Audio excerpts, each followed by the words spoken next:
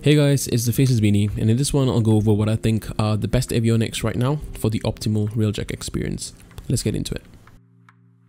First, integrated avionics. One Aura forma and one regular forma. The Aura is Ironclad Matrix. Nothing really works as well right now, solely for the survivability buff.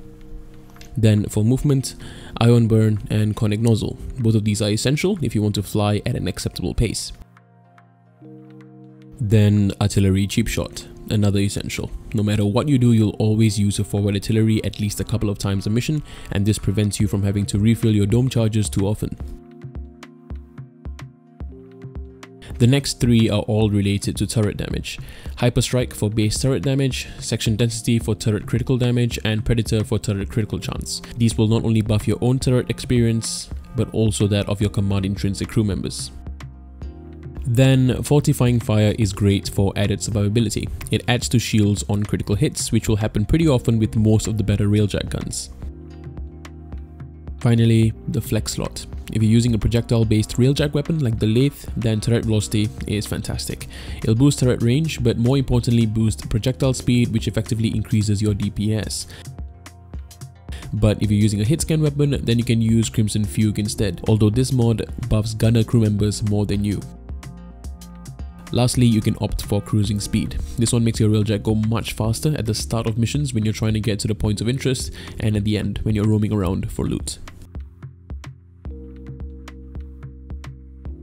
Forward artillery is pointless at the moment as hitting a crewship's weak points guarantees a one hit regardless and ordnance related mods are also pointless since tether works a little differently now and even then you'll almost never run out of ordnances. Next, Battle Avionics. For the defensive slot, Blackout Pulse. It's cheap, can deal a bunch of damage, and most importantly, stuns enemies, including crewships, making your life a lot easier.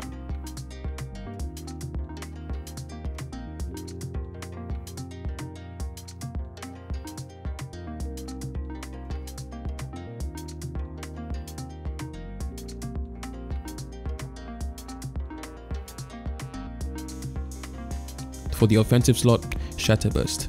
This is incredibly powerful, especially in Grineer Railjack missions, and it's pretty easy to obtain as well.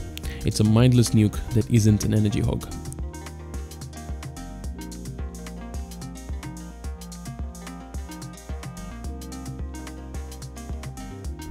Finally, for the super slots, either Void Hole or Seeker Volley. Void Hole synergizes very well with Shatterburst or your Railjack guns. Suck everything in and blast it.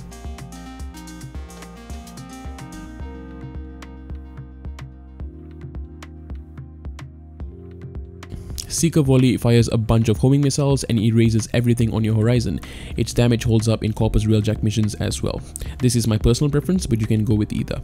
Lastly, let's move on to tactical slots. These are completely up to you. The only one that's essential is Battle Forge for the Forge cooldown reduction. I like Breach Quanta for temporary hull breach pauses and Battle Stations for turret damage buffs. Alright, that's about it. Of course, this was my own loadout and what I think are the best avionics right now, but if you're using something a little different, please let me know in the comments down below. With that, I hope this helped you out. This is the Faceless Beanie, signing out.